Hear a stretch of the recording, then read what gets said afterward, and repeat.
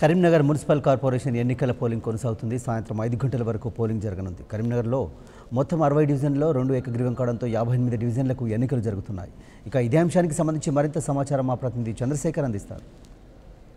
రాష్ట్ర వ్యాప్తంగా ఈ నెల ఇరవై రెండున పురపాలక సంఘ ఎన్నికలు నిర్వహించారు. అయితే కరీంనగర్ మున్సిపల్ కార్పొరేషన్కి ఒక ప్రత్యేకత ఉంది. కొన్ని న్యాయపరమైనటువంటి వివాదాల నేపథ్యంలో కోర్టుకు వెళ్ళడం జరిగింది. ఈ క్రమంలో రెండు రోజులు వాయిదా వేయడం జరిగింది. నేడు ఉదయం ఏడు గంటల నుంచి కూడా పోలింగ్ ప్రక్రియ ప్రశాంతంగా కొనసాగుతుంది. మనం చూడొచ్చు. ప్రస్తుతం మనం కరీంనగర్లో ఉన్నటువంటి ముక్రంపుర ధనగర్వాడి పాఠశాలలో ఉన్నాము. పాఠశాలకి ఉదయం నుంచి కూడా సెవెన్ ఓ క్లాక్ అంటే ఖచ్చితంగా ఏడు గంటలకే ఓటర్లందరూ కూడా ఆసక్తిగా వచ్చి తమ ఓటు హక్కును వినియోగించుకోవడానికి వచ్చినటువంటి పరిస్థితిని మనం ప్రత్యక్షంగా చూడొచ్చు.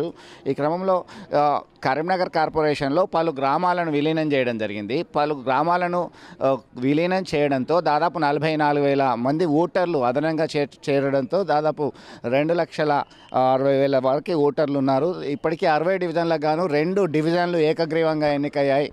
మిగతా యాభై ఎనిమిది డివిజన్లకి మూడు వందల యాభై పైగా అభ్యర్థులు బరిలో ఉన్నారు. దీనిలో ప్రధానమైనటువంటి పోటీ ఇటు అధికార పక్షానికి అలాగే భారతీయ జనతా పార్టీకి మధ్య కొనసాగుతున్నప్పటికీ కూడా అన్ని పార్టీలు దాదాపు Telugu Desam party Congress party MIM CPI CPIM ఇతర స్వతంత్ర అభ్యర్థులు సైతం తమ ఓటు హక్కును పోటీలో ఉన్నారు. ప్రజలందరూ కూడా ఓటర్లందరూ కూడా ఆసక్తిగా ఓటు హక్కును వినియోగించుకోవడానికి వచ్చినటువంటి పరిస్థితి కనబడుతుంది.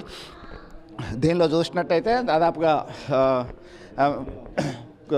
మొదటిగా మనకి ప్రధానంగా ఈ ఇది అరవై డివిజన్లో ఉన్నాము. అరవై డివిజన్లో ప్రధానంగా మనకి ఏడుగురు అభ్యర్థుల మధ్య ఈ పోటీ ఉంది. ఏడుగురు అభ్యర్థుల్లో దాదాపుగా ఇద్దరి మధ్యలో పోటీ ఉండేటువంటి అవకాశం ఉంది. ఇది మొత్తం మీద ఇది కాంగ్రెస్ పార్టీకి సంబంధించిన సంబంధించి మహమ్మద్ అలీ అహ్మద్ చేతి గుర్తుపైన అలాగే వాలా వెంకట్రావు సి వెంకటరమణారావు సిట్టింగ్ రెండుసార్లు కార్పొరేటర్గా ఉన్నటువంటి వ్యక్తి మరోసారి బరిలో ఉన్నాడు. ఈ కారు గుర్తుపై బరిలో ఉన్నటువంటి పరిస్థితి ఉంది. అలాగే భారతీయ జనతా పార్టీ నుంచి షానగొండ శ్రీనివాస్ బరిలో ఉన్నారు.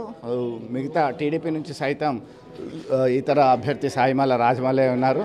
ఈ ఈ స్వతంత్ర అభ్యర్థులు సైతం ఫుట్బాల్ ఏసీ అలాగే బ్యాట్ ఇవ్వడం జరిగింది.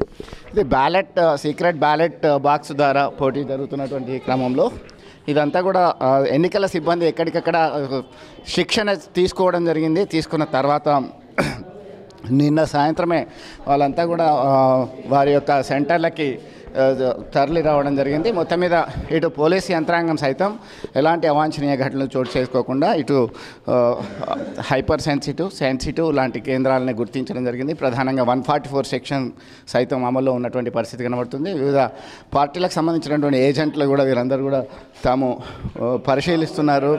ప- పరిశీలిస్తున్నారు. ఈ క్రమంలో వీరు వీరు ఓటు హక్కులో వినియోగించుకోవడంలో ఎలాంటి అవకతవకలు జరగకుండా రిగ్గింగ్ పాల్పడకుండా ఇప్పటికే కట్టుదిట్టమైనటువంటి చర్యలు తీసుకున్నటువంటి పరిస్థితి ఉంది. మనం చూడొచ్చు బ్యాలెట్ బాక్సులకు సంబంధించి పోలింగ్ సిటీలని పరిశీలించి అభ్యర్థులు ఓటర్లు తప్పకుండా ఏదైనా ఒక ప్రభుత్వం గుర్తించినటువంటి గుర్తింపు కార్డును తీసుకురావాల్సి వస్తుంది.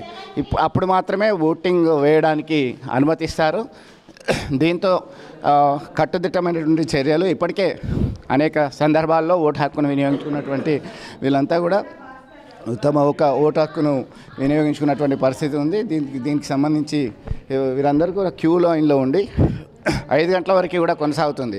పోలింగ్ ప్రక్రియ అనేది ఐదు గంటల వరకు కూడా కొనసాగుతుంది. మిగతా అన్ని ప్రాంతాలకు సంబంధించి ఈ నెల ఇరవై ఐదున కౌంటింగ్ అయితే ఇక్కడ కరీంనగర్కు సంబంధించిన మున్సిపల్ కార్పొరేషన్ ఎన్నికల ఫలితాలు మాత్రం ఇరవై ఏడున వచ్చేటువంటి అవకాశం ఉంది. మళ్ళీ మిగతా అన్ని ప్రాంతాలతో చూస్తే రెండు రోజులు ఆలస్యంగా ఉన్నటువంటి పరిస్థితి మనకు స్పష్టంగా కనబడుతుంది. మొత్తం మీద కరీంనగర్ మీదనే అందరి యొక్క దృష్టి ఉంది అనడంలో సందేహం లేదు. For more updates please subscribe subscribe 99 TV Telugu.